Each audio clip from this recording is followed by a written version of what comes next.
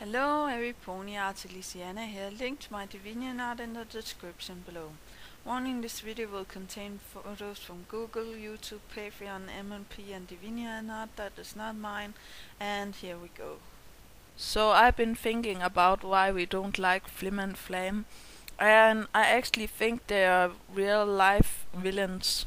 In that case, um, that is why we don't like them. They sing about stuff that is happening in real life, like sickness and stuff like that.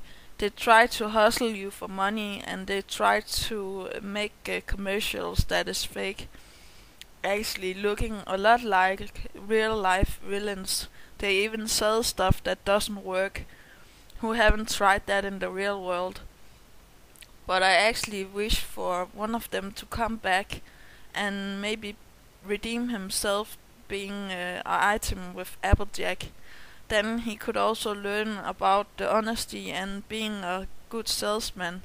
Maybe they will both come back and Applejack would have a problem choosing between the two, learning them both how to be good salesmen and stuff like that.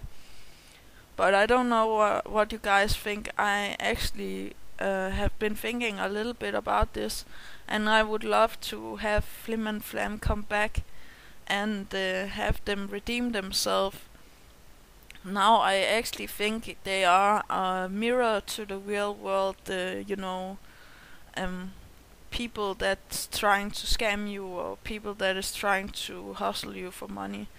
And I really do wish them to redeem themselves because I actually think they are two good stallions. But uh, what do you think? Uh, leave a comment down below. Uh, maybe subscribe and remember that inspiration is right around the corner and uh, remember to have a great day. Yeah, okay, bye.